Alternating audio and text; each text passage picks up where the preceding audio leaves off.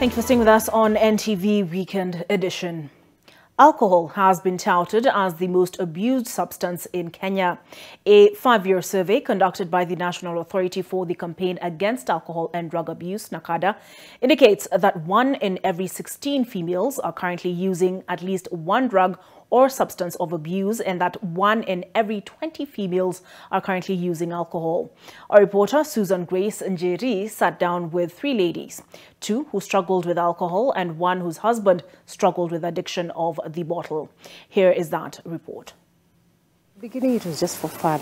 For 17 years, Yvonne Lois Kavu, a mother of three, battled alcohol addiction.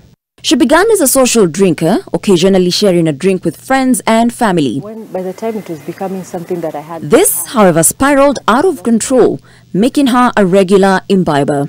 When she could not afford the expensive liquor, she settled for what was readily available, including illicit liquor. But with time, this was out of reach for her, and she had to devise a way to sustain her thirst. So that means I have to wake up at five in the morning. Not I have children. Wake up at five in the morning, and go sit there, wait for the watches. They're going to come with tips from washing cars and whatever, whatever things like that. And I know I can check her and they'll they'll spoil me and drink here and there. She was so hooked to the bottle that even taking care of her daughter proved an uphill task. Relatives had to intervene and rescue the girl, who she would later learn of her whereabouts after visiting the police station. My aunt had to come to the to the station with my brother, and when they did, uh, we were they were. I was told that they are going to stay with her until until I got better.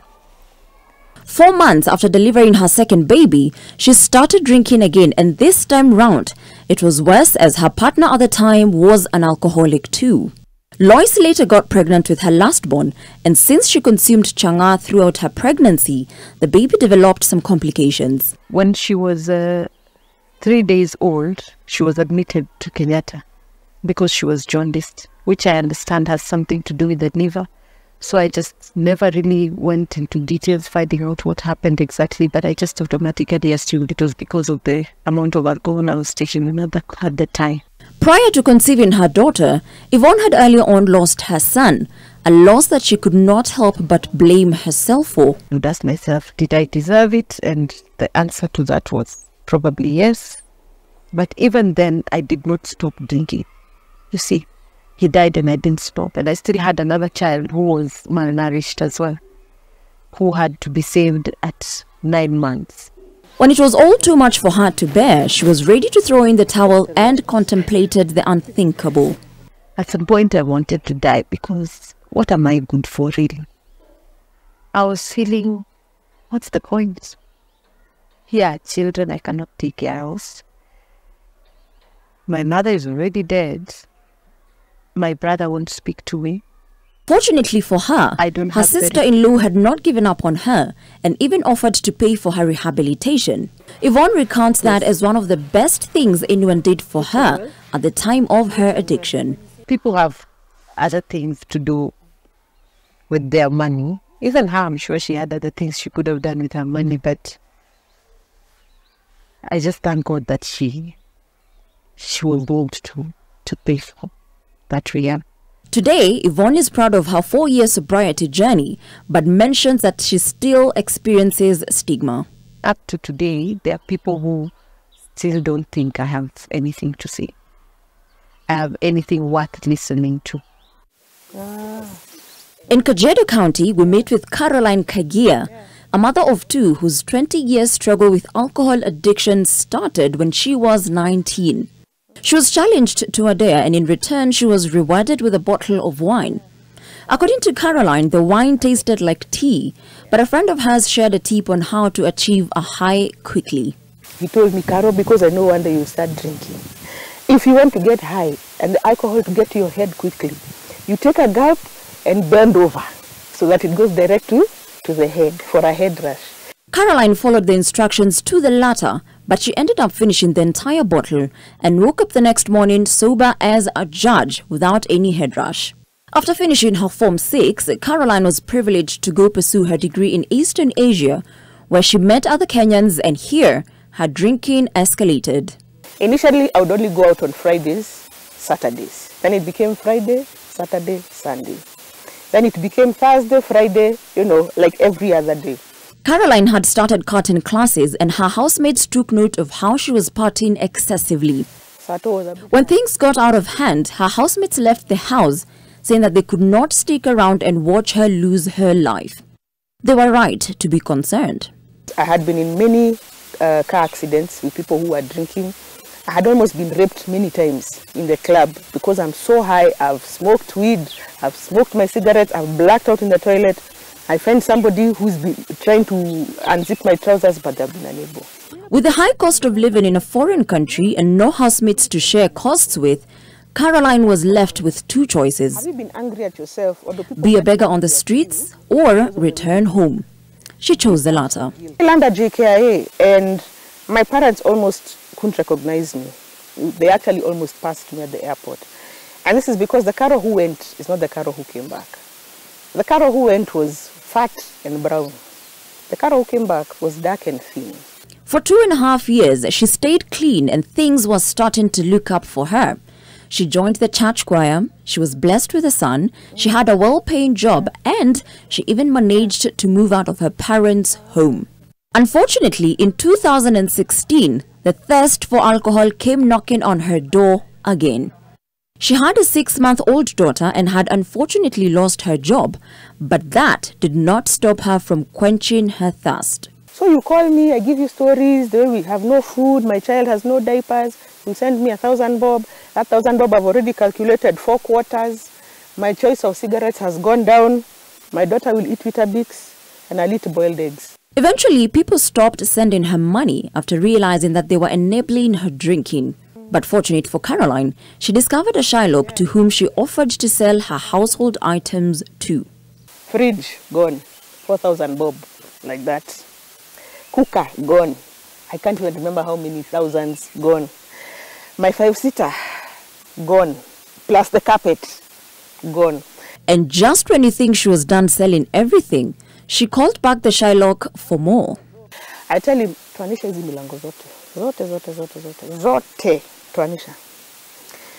He did it, him and his handyman, and they took everything for a total, not pado, total of 500 bob. Despite surviving several car accidents and potentially being raped while high, Caroline recounts losing her unborn babies.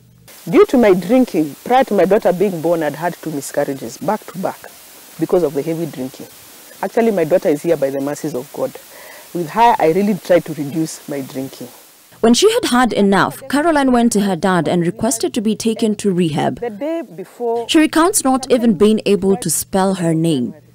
After 89 days in rehab, she came out of rehab and stayed clean until when COVID hit and she relapsed. She was taken back to rehab, only that this time round it was not voluntary. Caroline is proud of her sobriety, but she, however, has a few regrets. I do regret not having been there for my son because I didn't raise him. Um, actually, I do regret having had the first drink. I wish I'd had the courage to say no. 38 year old Sylvia Karanja has had her fair share of struggle with alcohol addiction. Not hers, but her husband's. A journey that has brought her a lot of stigma.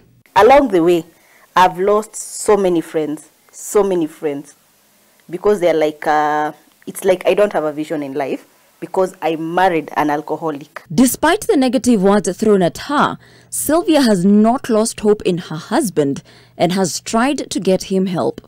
so we've gone to churches. Some start uh, you start the journey with him. Along the way they just disappear. The mother of two states that in the early stages of her husband's alcohol consumption, things got ugly and even recounts her husband kicking them out one day. everything was just okay the next minute he comes back drunk and tells everybody to leave his house In 2016, after the birth of their second born, her husband's alcohol consumption got worse and he had to be sent to rehab. Sylvia fell into depression and was admitted in hospital for a month. uh, I think I got depressed because um, I was also admitted in hospital, not knowing what I was suffering from. But I remember when I was taken first to hospital, Charles Gishohe, Sylvia's husband, says that despite his struggles to fight his cravings, the triggers have been his biggest challenge. uh, you see maybe an advertisement, you know, and then you've seen somebody taking and is enjoying, you know, hey, you start salivating. He has not given up on his journey to sobriety and hopes that this too shall pass. Though I'm still struggling, but um, I know uh, at the end of the day, there's a place that I will just absolutely, the cravings will go. Yeah, yeah, yeah, yeah, yeah. Phoebe Nyambura, a counseling psychologist and addiction counselor, highlights that labeling women who have struggled with substance addiction has made women shy away from openly talking about it. For women, I think you'd be found, you'd be thought to be loose, you'd be found that you are neglecting your duties and your roles as a mother, as a wife, uh, as a caregiver. And because of this, our society bring about a lot of stigmatization. She adds that while in rehabilitation centers, addicts are taught how to manage their addiction, and when they come out, it doesn't mean they have fully recovered. Susan Grace Njeri, NTV, Nairobi. Some heavy stories there, but they do inspire us